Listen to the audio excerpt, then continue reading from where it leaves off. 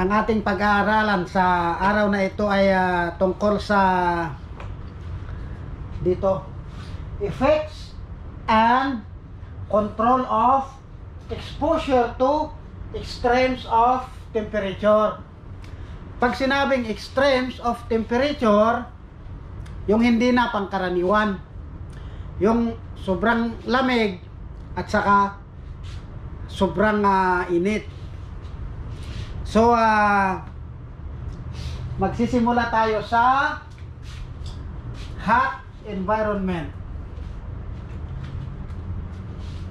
Pag sinabing hot environment, yung lugar na pinagtatrabahuan natin ay mainit ang temperatura. Gaya ng yung na-experience ko sa Pilipinas, tunnel. Sa underground, may mga lugar na sobrang init ang temperatura. Dito naman sa labas, ah, construction. Pag ah, pag summer dito sa Kuwait, sobrang init talaga. Kaya may batas dito na during summer, ah, ipinagbabawal ang pagtatrabaho ng alas 11 ng ah, tanghali hanggang alas 4 ng hapon dahil nga sa sobrang init talaga na pwedeng ah, pwedeng ah, mapinsala yung mga trabahador natin. At magsisimula tayo sa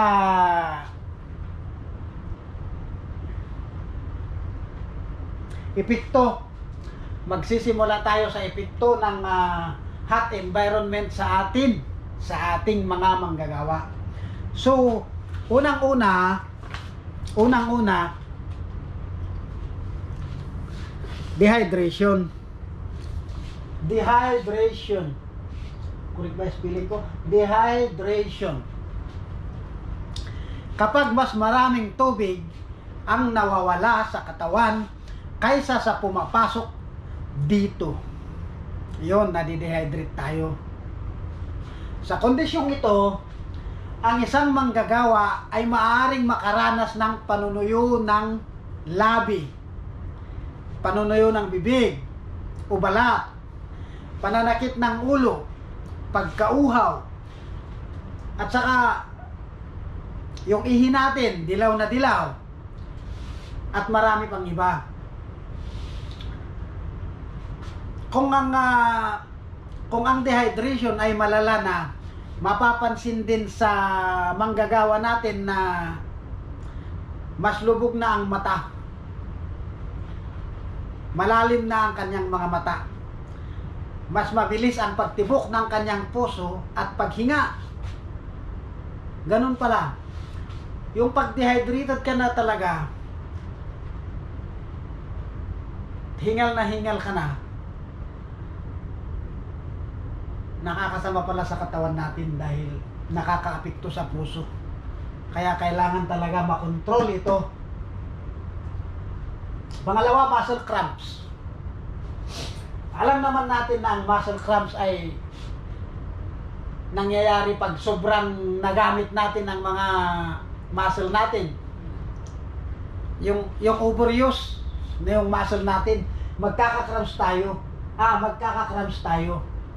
At yun din ay dahil naubusan tayo ng tubig at saka yung asin sa ating katawan. Kaya yung muscle natin magre-react, mag-cramps. Ang pulikat ay sanhi ng pagkawala ng tubig at asin mula sa sobrang pagpapawis natin, sa sobrang trabaho natin, sa sobrang sipag natin, pinapawisan tayo ng sobra-sobra hindi natin alam na masama pala yun. Kaya kailangan makontrol ito. Muscle cramp. Heat stress. Pag ah, yung lugar kung saan tayo nagtatrabaho ay sobrang init, siyempre hindi komportable ang katawan natin. Nai-stress tayo, hindi komportable ang katawan natin. Naiirita tayo. Konting galaw lang, napapagod tayo sumasakit pa ang ulo. Yung experience ko pa, eh, yung experience ko noon, eh, lumalabo pa ang paningin. Yun, kaya heat stress, i-control din natin yan. Heat exhaustion is the body's response to an excessive loss of water and salt. Yun daw yung reaksyon ng katawan natin pag naubusan na tayo ng asin sa katawan at tubig. Usually, through excessive sweating, pag yun sobra-sobra na tayong pinapawisan. Workers most prone to heat exhaustion are those that are elderly. At ang uh, karamihan na naapektuhan sa ex- heat exhaustion na ito ay yung mga may edad na at yung mga may sakit sa puso o yung mga may sakit sa puso. At ang sintomas nito, heat exhaustion ay ang mga pananakit ng ulo, pagkahilo, panghihina, siyempre uhaw na uhaw tayo, yung sobrang init na ng katawan natin at saka yung pag umiihi tayo eh yung drops na lang tulo heat exhaustion at saka heat stroke. Ito yung pinakadelikado sa lahat heat stroke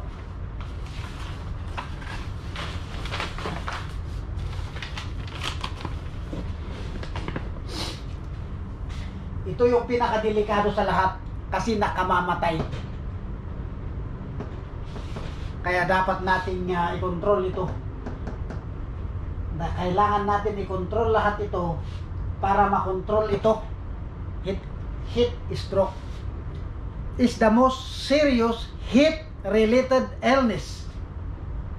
It occurs when the body temperature unable to control It occurs when the body becomes unable to control its temperature.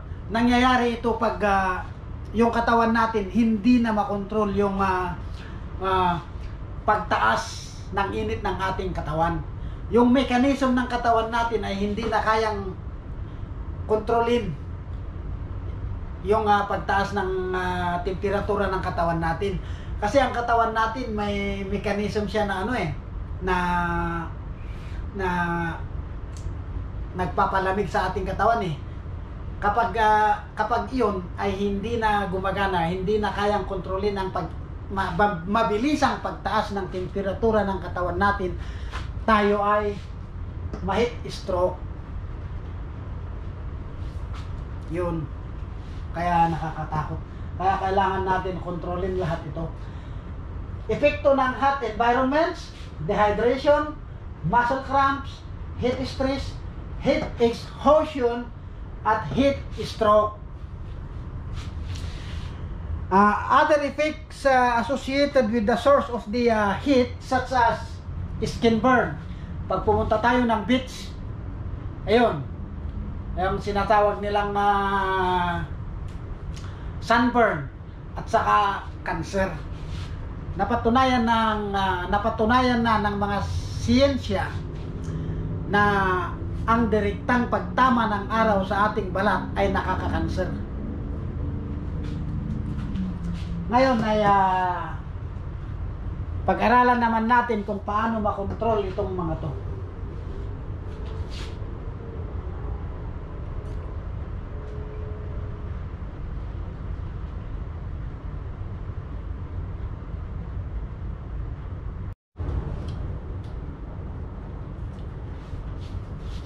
So natapos na natin ang uh, ito. Naipaliwanag ko na kung ano ang mga ito na epekto ng hot environment. So ngayon, dito na tayo sa control measures. Dito sa libro ng uh, ni Bosch, ito yung mga nakasulat na control measures. So basahin ko. Provide good workplace ventilation. Ito, provide provide workplace ventilation. Good workplace ventilation. Ibig sabihin yan, pag may ventilation ng isang uh, workplace natin, halimbawa, uh, bikiri, pag nagsisirculate yung hangin, nakakatulong yun para mapalamig yung area natin. Kaya kailangan mag-provide tayo ng ventilation. Insulate heat source. Kung saan nang gagaling yung init, kailangan tanggalin. Kung hindi man na uh, pwedeng tanggalin, coveran natin para yung init hindi na lalabas sa lugar kung saan tayo nagtatrabaho. Insulate, heat source. Pangatlo, coal refuges. O uh, provide coal refuges where workers can escape the heat. Halimbawa sa construction, ibigay natin sa kanila yung isang bakanting opisina. Lagyan natin ng aircon, lagyan natin ng inumin, at maglagay tayo ng mga upuan kung saan pwedeng magpahinga yung mga trabahador natin na nai-expose sa sobrang init. Pag summer, dito sa Middle East, sobrang init. Kaya kailangan nating mag-provide ng cold refuges. Mag-provide tayo para hindi hindi maranasan ng mga manggagawa natin ang mga ito. Gaya nga ng sinabi ko, yung bakanteng opisina sa sa site, sa sa construction site, ibigay natin na pahingahan ng ating mga manggagawa.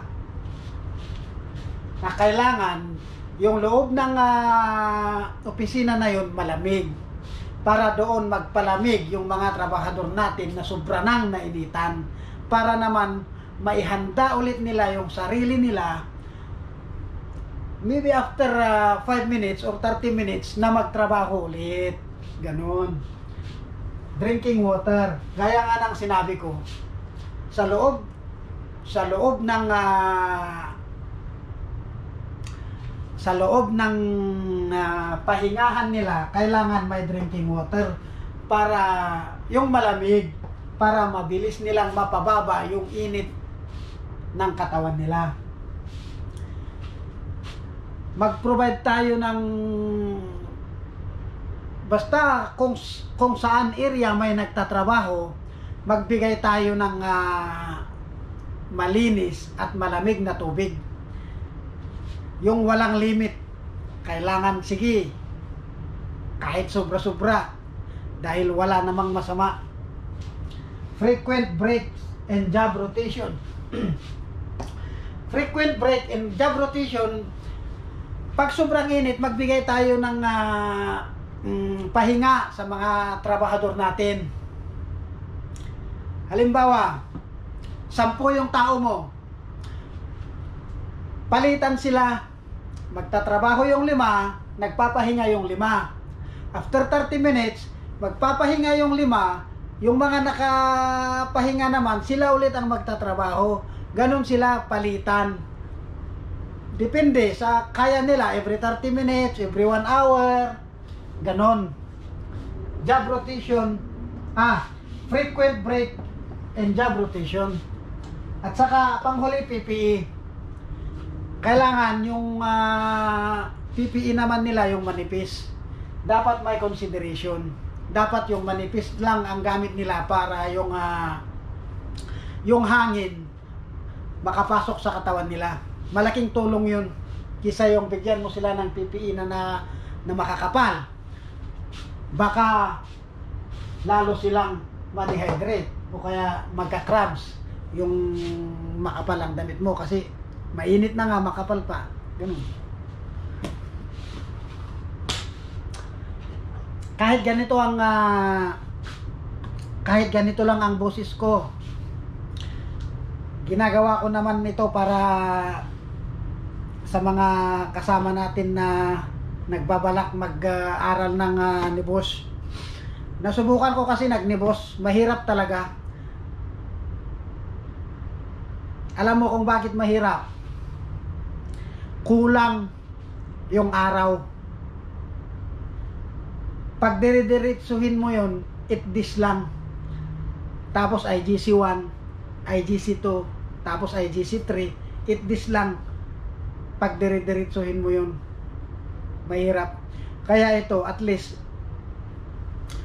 kahit ganito yung boses ko, kung talagang ah, intindihin nila itong mga sinasabi ko, makakatulong ito. Makakatulong. Salamat po sa lahat.